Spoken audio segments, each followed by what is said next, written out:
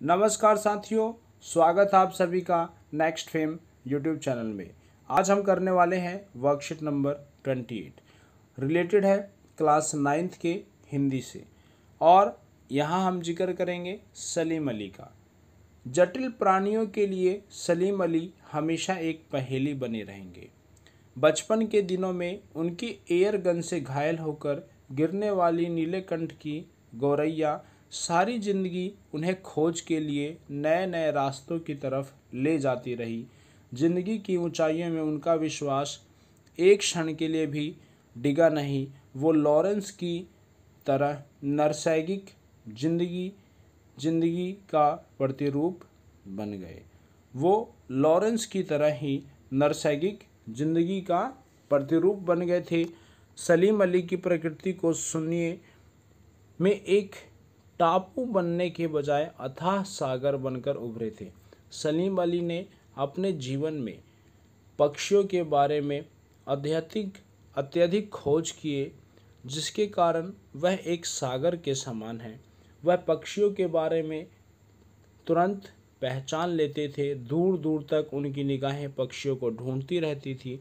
जो लोग उनमें, जो लोग उनके भ्रमणशील स्वभाव और उनकी यायावरी से परिचित थे। उन्हें महसूस होता था कि वो आज भी पक्षियों के सुराग में ही निकले हैं। और बस अभी गले में लंबी दूरबीन लटकाए अपने खोजपूर्ण नतीजों के साथ लौट आएँगे। जब तक वो नहीं लौटते, क्या उन्हें क्या उन्हें गया हुआ मान लिया जाए? मेरी आँखें नम हैं, सलीम अली, तुम लौटोगे ना। सलीम अली की डेथ के बाद लोग उनका इंतज़ार कर रहे हैं कि सलीम अली, तुम कब आओगे। सो, हम क्वेश्चनों को कर लेते हैं। पहला क्वेश्चन है, कैसे प्राणियों के लिए सलीम अली एक पहेली के समान है? तो जटिल प्राणियों के लिए सलीम अली एक पहेली के समान थे। किसने सलीम अली को पक्षियों के बारे में जानने के लिए प्रेरित किया। तो किसने किया? नीलेकंठ की एक गौरैया ने। आप देख सकते हैं, नीलकंठ की एक गौरैया ने उन्हें हमेशा पक्षियों के बारे में जानने के लिए प्रेरित किया। टापू बनने के बजाय अथा सागर बनना से क्या आशय है? टापू, क्योंकि सलीम अली ने एक पक्षी को नहीं खोजा।